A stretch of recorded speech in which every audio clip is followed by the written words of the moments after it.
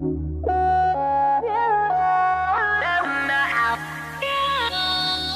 is going on everybody, I'm Boltz Clown, and we're back on TU14, like features, tricks, tips, whatever you want to call it. okay, so this one is going to be like quick, easy, fast, whatever you want to call it, or I guess quick and e quick and fast are the same thing, aren't they? okay, so just fast and easy, XP, and it's going to be uh, like getting more, oh, okay, let's go. Gotta go in the nether, so you have to go in the nether, and you need a pickaxe of, uh, I believe it's stone or better. I believe. I'm not positive. I have made. You would think I would know these things, but yeah. So like you need you need a, a pretty decent uh, pickaxe, and then you need uh, you just need to go in the Nether. Oh, hold on. Okay, so I got so I finished him off, and then you go in the Nether, and then if you if you can see that there's a whole bunch of little patches of Nether quartz, and that is the key to this is that you want to harvest Nether quartz, and they actually give you a decent amount of XP. Like look at that, like only a couple blocks, I'm already almost to the to the to the next level. But um, like you can find them in a lot of times you'll find them in these big groups. So you'll get a whole bunch, and what you do is like you'll uh, like it's like they're all over the place. You can see um here I'll tell you how to do it in a second. But like basically you get all these XP from this, and then you can obviously build them and stuff, and you can uh, make them at all make them into different types of blocks, obviously. But the biggest thing is like look at this like like two veins and we're up to level three, and this is it's more common than coal. I think it's coal, iron, and gold like all put together. Like it's super common in the nether. Like just in these few little spots. I've already found enough to make me what five levels, maybe six.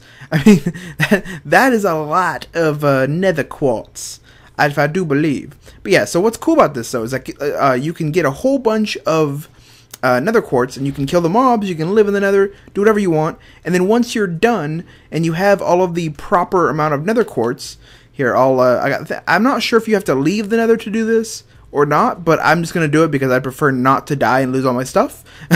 so like, I go back through the Nether, and then when I'm in there, then I want to save and quit.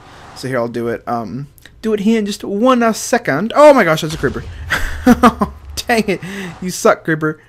Okay, so I just save and quit. So I'm gonna save game. Sh oh, uh, dang it, I didn't quit. so I'll come back once I am uh, on the main menu and I'll show you what to do. Okay, so here we are on the dashboard of the Minecraft Xbox 360. This will work on PlayStation 3 also. This is just it, uh, I have to do on this version because it's out first. Okay, so you just go into the world that, that you were just in. You were getting all that nether quartz, and once you have it all done, like I said, you cut you back out, or you save and quit and exit and everything. And you go to more options on that same world, and you click reset nether. So all the way down here at the bottom, I'm gonna turn on host privileges just because like the way my nether portal was, it was way out in the middle of nowhere, and so I'm, gonna be, I'm not gonna be able to fly. I mean, so so I can fly. So you want to set it to reset the nether, and then you want to load up the game. Oh, nope, nope. Oh wait. Uh, more options. There we go. So I got reset. I, I guess you have to actually click reset, and you have to officially do it. So here we go. Reset the nether, and then all of that uh, all of that, uh, what was it called? Nether quartz, my bad. all the nether quartz will reset. I'm not sure if it will randomly do it. So, like, you might have a whole new nether. I'm not positive on that. I guess we'll find out. But yeah, so basically, uh, it'll all reset. So you just remine it all again, and basically, you have infinite amounts of nether quartz. So you have tons and tons of nether quartz, which is cool because it's amazing for building with all the different types of nether or all the different types of stuff you can make with it. I actually need to make a flint and steel because that stupid creeper blew up my thing.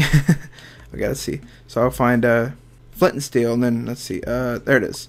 Okay, so I see the flint and steel. Reset it. Get me some food back, and then we go back to the nether. Hopefully, uh, it's good. Oh yeah, I need to turn on uh, host privileges. Oh, I didn't do it. So this is a reset nether, uh, like a fully regenerated one. It should be fresh as the day that you could. Oh, do it. Oh no, there we go. That's why I needed it. Look at that. Look at that nether. That is terrible. Oh my gosh. But yeah, so basically, you can see like this is exactly how it was. So apparently it doesn't change. I, I wasn't positive it did change, and I'm on fire. But, but um, basically, like see, now you can get all those uh, pieces of nether quartz again and get all those XP levels. So I thought, this, I thought this was cool because, you know, like mob grinders are difficult to make. They're kind of a pain to run and uh, and like me for example i'm not very good at, at, using them or building them so this is like a super easy way to get early levels to get you know like the like super easy stuff. And you get tons of nether quartz so it's a win-win. Oh that almost killed me. But okay so that's all for this video. I thought this was a cool little thing that uh that you guys would like to know about. And if you did enjoy this video make sure you rub that like button for me subscribe if you haven't already and i'm out